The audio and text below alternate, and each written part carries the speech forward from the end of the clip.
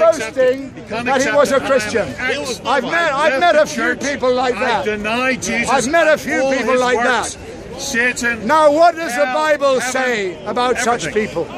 I'm going to tell you what the Bible says about those people who say that they have been Christian and are no longer Christian. Lord, Lord, Because I Lord. said Let me read it to you. I was never a Christian. And I'm sure this man would like to hear. That, that is Christian love you're showing this. sir. You just explained. And in the words, we have it in the words of murdering Peter. each other. You're a Murdering each other. Now, this is Peter's words. Listen to the words of Peter. This is what Peter says. No, I'm not repenting. I've got nothing to repent for. Peter says in his second letter Second letter. and chapter 2, chapter 2, James, remember these words. Peter. He says this concerning those who have believed. I can't hear him. He says this I hear you. While they promise them liberty, they themselves are the servants of corruption. For of whom a man is overcome, of the same is he brought in bondage. For if, if, if, after they have escaped the pollutions of the world through the knowledge of the Lord and Savior Jesus Christ. You see this man, he doesn't even want to listen. He doesn't even want to I am an listen. He's an unreasonable. I am an Well, yes, that's why you're so unreasonable. Christians are reasonable. This man is not reasonable. He's lost his reason. He's lost his reason. Thank you, sir. You were never Christian. In 2 Peter chapter 2, killed We are told, women for children. if, They're Catholic. if, after they have escaped the pollutions of the world through the knowledge of the Lord and Savior Jesus Christ, they are again entangled therein and overcome. We don't kill. The latter end is worse with them than the beginning. For it had been better, it had been better for them not to have known the way of righteousness than after they have known it to turn from the holy commandment delivered unto them. But it is happened unto them according to the true proverb the dog is turned to his own vomit again, and the sow that was washed to her wallowing in the mire. You see, anybody, anybody who claims to have been a Christian and then have gone back from being a Christian into the world, it's happened to them according to the true proverb.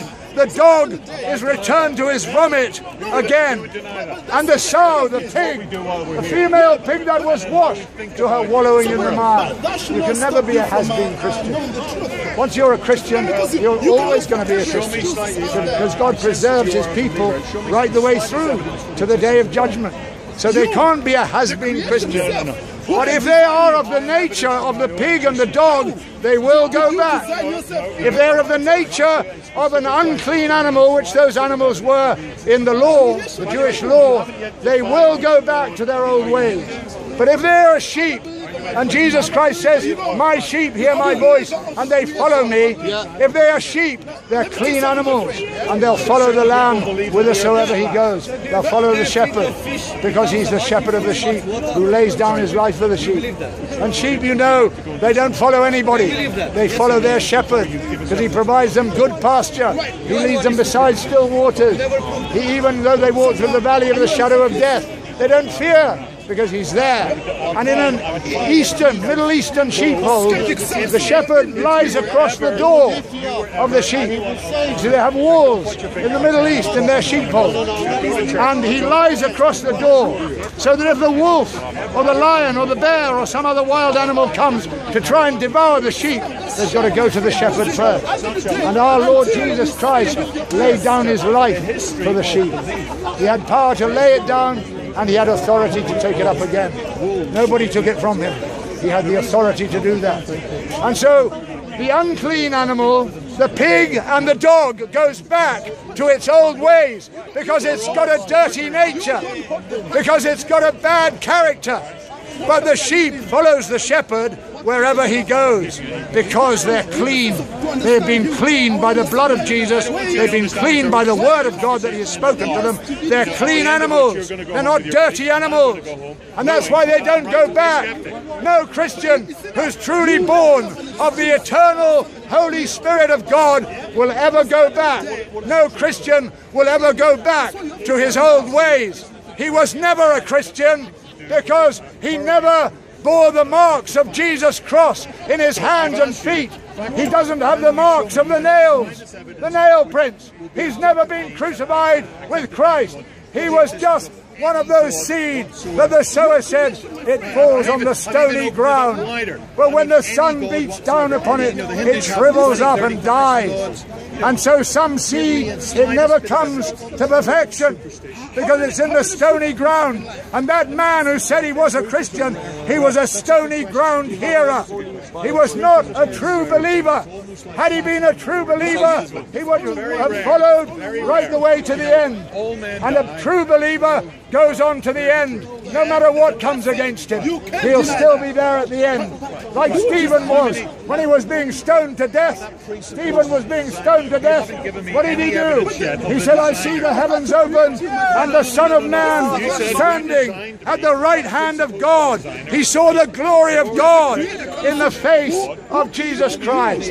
And that's what we have seen as believers. We have seen the face of God in the Lord Jesus Christ. That's how you need, you have to have an encounter with Jesus Christ. You have to come to God as a wretched sinner, knowing that you're doomed for hell because you deserve to go to hell, because you've broken the holy law of an infinitely holy God. And that's why you deserve the damnation of hell.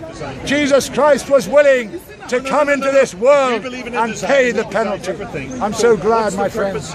My hat off to you who have stayed to listen. I'm so glad that he paid the penalty for all my sins. And I bear them no more. Let man try and bring them up. I point them to the blood of Jesus Christ. They overcame the devil, the accuser of the brethren, by the blood of the Lamb, by the word of their testimony, and they loved not their lives unto death.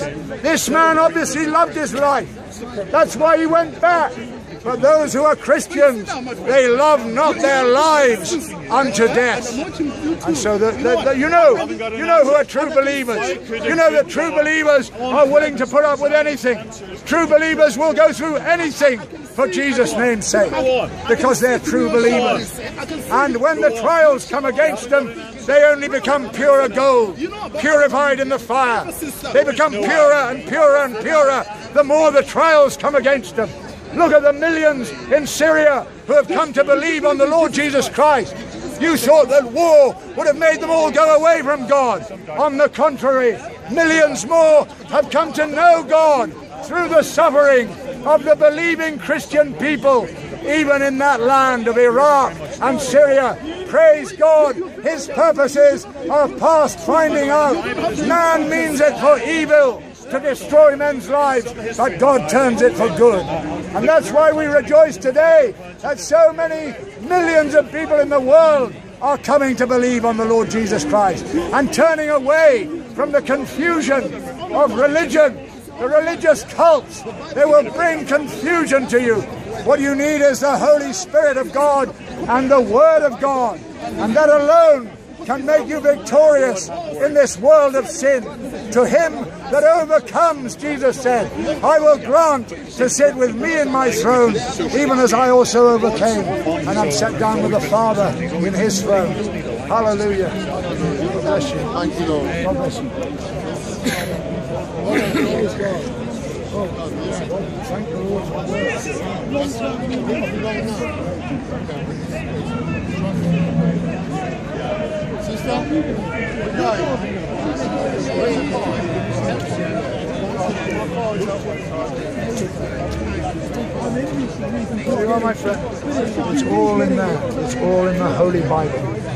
That's what that's that's where we get all the wisdom It comes from God. Jesus Christ life, is our wisdom. John, it's book of life. Yes, it's a book of life. Yeah. Jesus said, they're not just words in a book, you know. My words are spirit and they are life spirit and life. When you embrace the Word of God, you know that it's true. You don't need anybody to tell you because you've tasted and seen for yourself that the Lord is good. That's what the psalmist says. Oh, taste and see that the Lord is good. There's no one to them that fear a. You got HIV. You, you got what? You